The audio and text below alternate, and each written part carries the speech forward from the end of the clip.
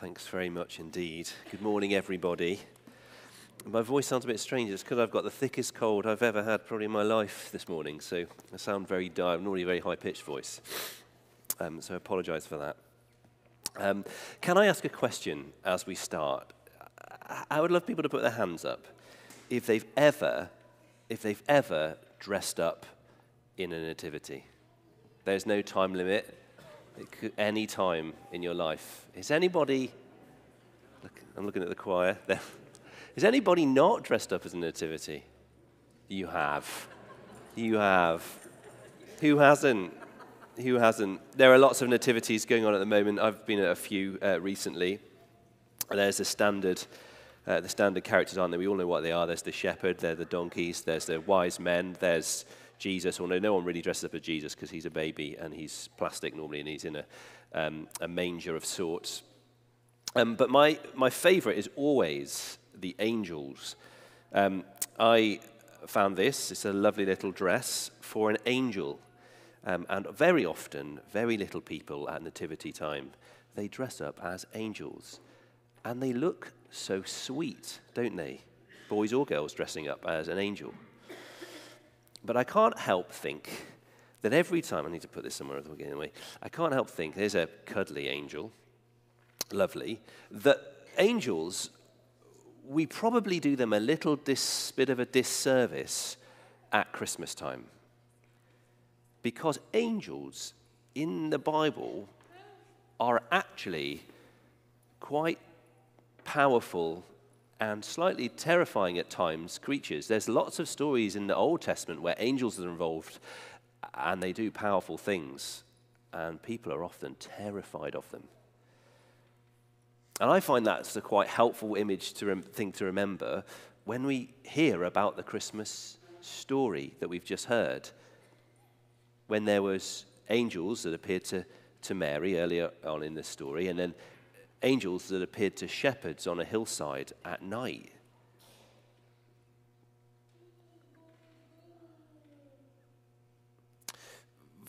I'd love us to try something if we can.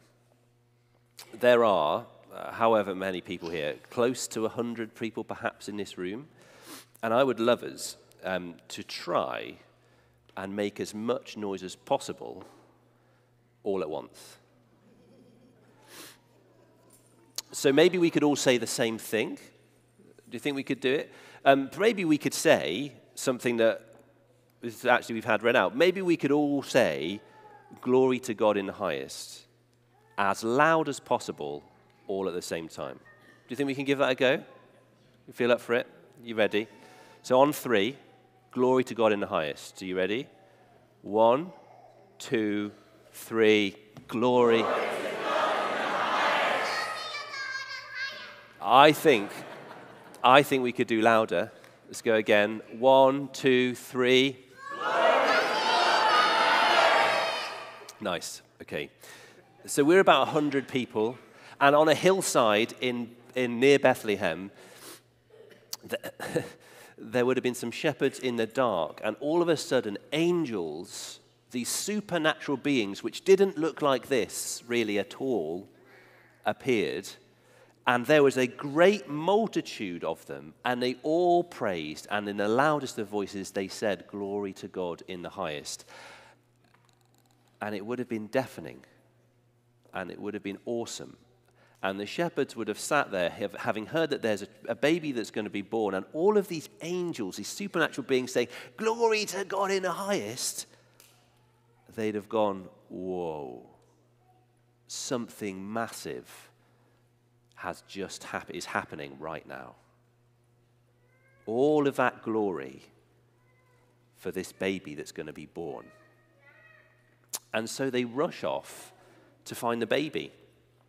Now, I don't know if you've got um, things that at Christmas time you, you just think, oh, this just works really well with Christmas in your family. Have you got some? What do you always do at Christmas? We always have a turkey we always have pigs in blankets. We always have a Christmas Eve boxes before we go to bed um, on the Christmas Eve.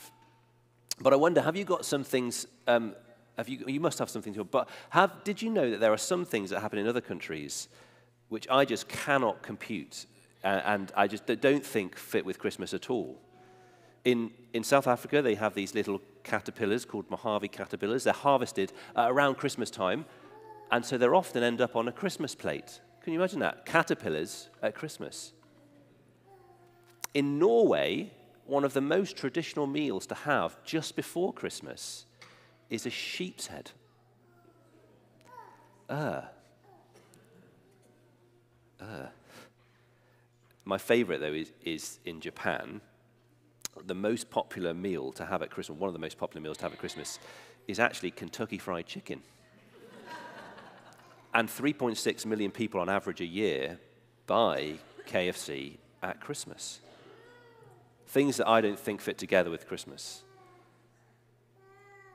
Now, when the shepherds heard this glory, glory to God in the highest, and they saw how great these angels were, what they will have gone to see won't have fit very well with what they were expecting, I don't think. Because they've just seen the, the glory of God and how wonderful He is. And they get told to go to find a baby in a manger in a stable. The two things don't fit together, do they? God is really glorious and powerful and big and loud, and all of that power is on display on the hillside. And yet the baby's in a manger. He's small and he's weak and he's vulnerable and it's smelly. Why is this so wonderful? Well, I wonder if it's so wonderful uh, because it's the type of glory and wonderful thing that we need, but we don't expect. Have you ever, I'm sure you'll all have been to fancy dress parties before. I've been to lots of fancy dress parties. Nobody ever dresses up as Jesus, do they, at children's fancy dress parties? Nobody ever dresses up as him. They will dress up as a Batman or a beautiful princess or a um, or Superman or Spider Man or something big and powerful, because that's what we like to dress up as. Well, I personally don't do it anymore, but uh, you can understand why people would dress up as Spider Man, because he's so cool and powerful. You can understand why people would dress up as Superman, because he's so super and so strong. And we like to imagine ourselves as super and strong. People won't dress up as Jesus, though, because actually he's not quite like that. He doesn't quite fit the mold of strong and powerful, even though he is God and he came as a baby. You see, he is a superhero, Jesus, in a wonderful sort of way, but he's not just a superhero that we want to be, he's a superhero we need, really need. I've got my favorite Christmas, favorite Christmas card I've ever had this year, genuinely favorite Christmas card. This is the best Christmas card I've ever had. And the reason is, it's from Teddy. He's just learning to write. And it says, Happy Christmas. Well, it says to Mummy and Baddie. Love Teddy. He's cool on so many levels, isn't it? And cute. But it also, at Christmas time, speaks, I think, speaks better than it knows. Because the reality is, I am a baddie when it comes to God. I spend time not liking him. I spend time being rude about him. I spend time not wanting to him to be God and me being God. And so I need a help and a rescuer, not one I want, but one I need. And what I need is for someone to come to the world and rescue me. I need God to come and rescue me, which is exactly what happens at Christmas. I'm a baddie. God comes down as a baby, and he's weak and vulnerable and needy because I am weak and vulnerable and needy. I'm poor. I need someone to help me.